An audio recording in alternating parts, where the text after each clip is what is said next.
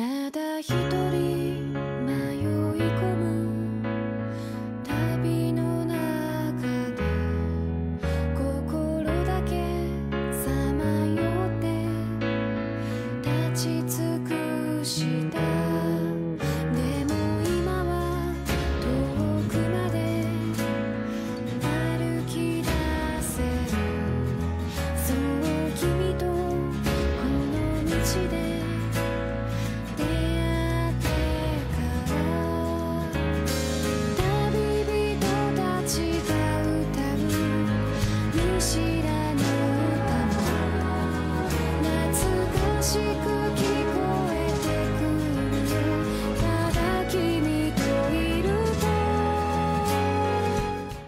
Welcome to the eighth episode of Talkisoba with our review of Spice and Wolf. I'm anime casual Nate, joined with anime lover Malesh. Hey guys.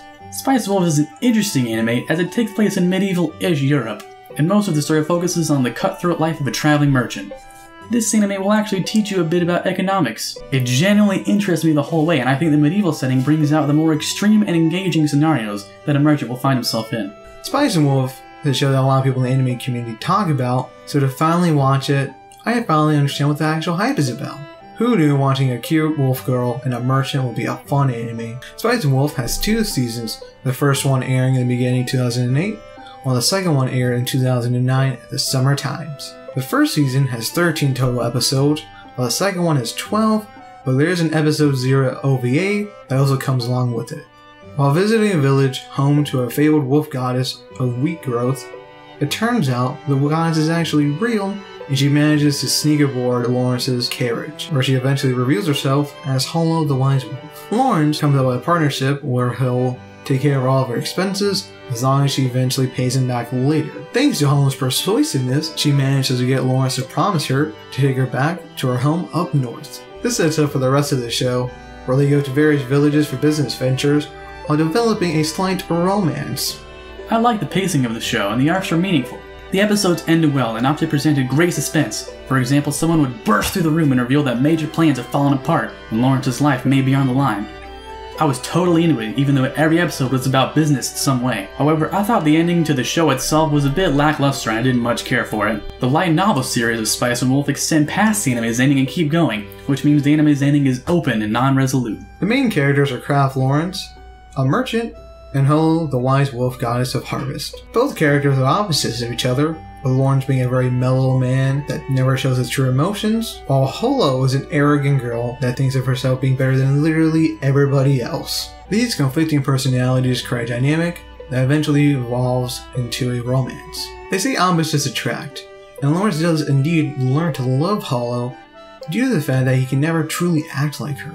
He also makes Holo consistently angry, as Lawrence never shows his shoe colors to anybody. For the other characters, Season 1 main star was Nora, who was an amusing, short romantic rival to Holo, which created a very amusing love triangle. However, Nora is forgotten in the next season, where Marty and Ave the secondary characters. I prefer these two over Nora, mainly due to the fact that they had more screen time, which made them a bit more memorable to me throughout the season. There are also additional characters like Mark and Diane that I wish I was got more screen time because they were pretty cool. Personally, I had frustrations with Holo's character. I thought she was stubborn and moody.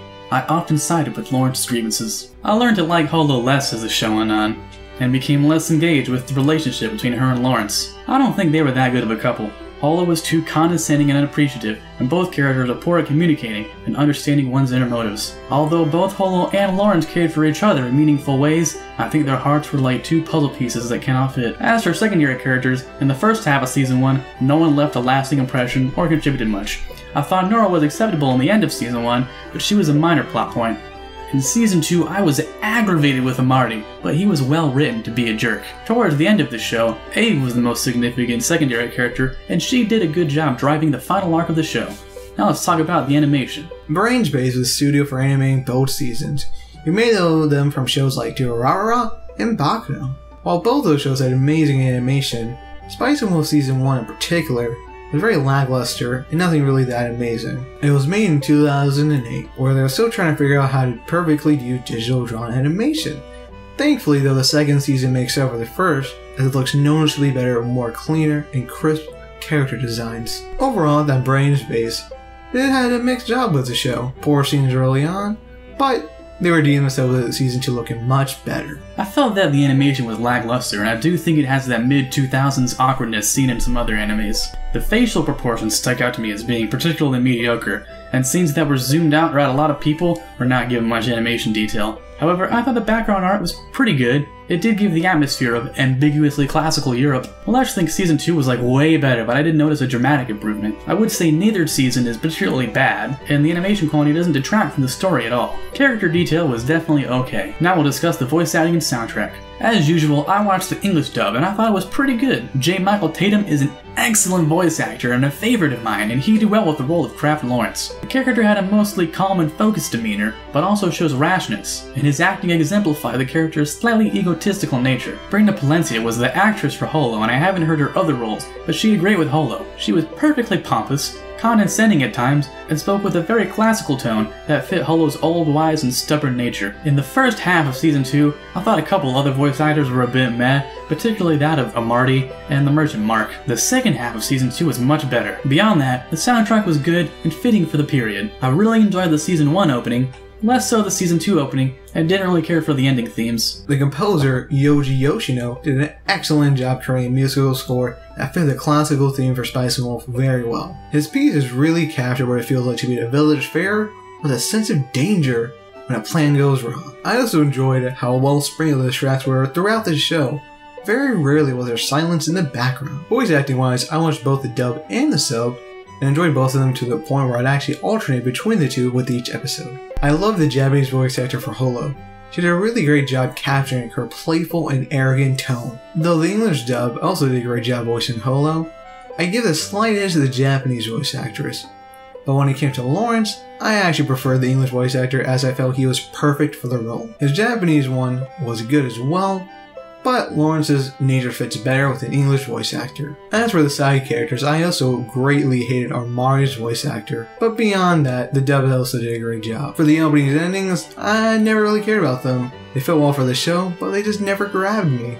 Overall, I'd still say Spice Wolf is a good anime, although it's got some very visible flaws, it's got a very good story, which makes sense as it's based on a light novel series. You will learn economics, you will watch a 22 minute business deal, and it will not be boring. This isn't Wall Street, it's medieval times, and like I said, there are some tense developments and occasional violence, and I felt engaged throughout both seasons. This show is a recommendation for me to anyone looking to an anime with such a setting and pace. Spice and Wolf reminded me a lot when I first watched The Melancholy of Haruhi Suzumiya. Another often talked about show in the anime community, but when I finally saw both the shows, I enjoyed them, but it never really lived up to the hype. I did enjoy Spice and Wolf, especially throughout the second season, with its much more interesting arcs.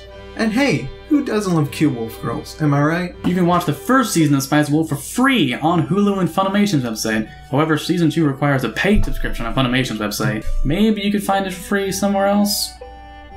Or you could buy the Blu-ray and DVD collection. As always, if you've already watched Spice Wolf, click the first link in the description for a post-review discussion with some light spoilers. And thanks for watching our review of Spice and Wolf. Please give it a like or a comment for feedback, and we'll see you guys next time with the review of The Eccentric Family.